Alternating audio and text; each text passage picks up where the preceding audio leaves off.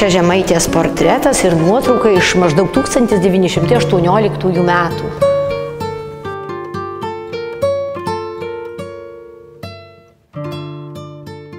Šiuo metu Punsko lietuvių kultūros namų erdvėse yra eksponuojama paroda, kurią, kurią matote už mano nugaros.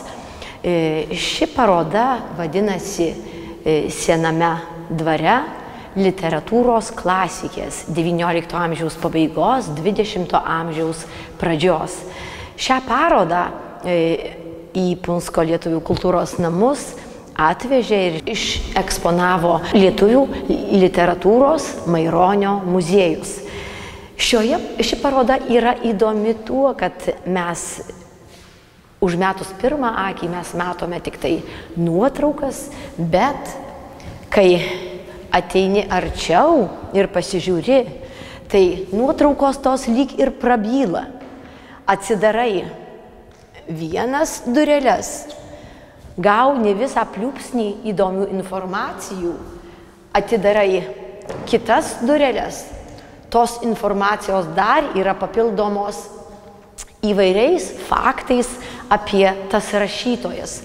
O tos moterys, apie kurias čia yra kalbama, tai yra lasdynų pelėda, šatrijos ragana, žemaitė, ir Petkevičaitė bitė.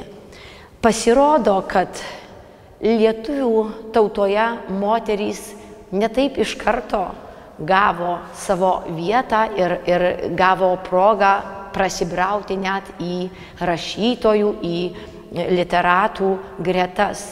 Iš pradžių jos buvo mokomos tik tai namuose pas daraktorius, jau vėliau jos mokėsi, mokė kitus ir kūrė. Ir tokius pavyzdžius mes čia turime.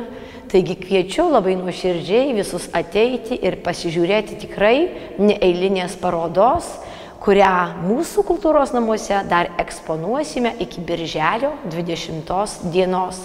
Kviečiam ne tik mokinius, bet visus, kam įdomi lietuvių literatūra. Marija Pečkauskaitė, Šatrijos ragana.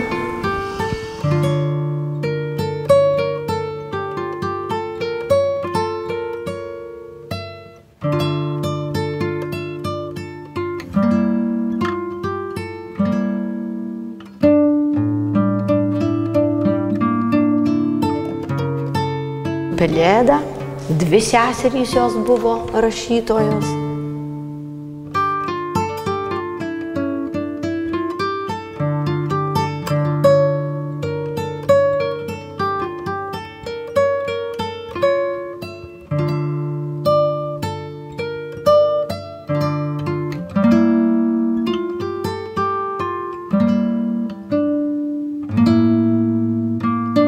Gabrielė Petkevičaitė bitė.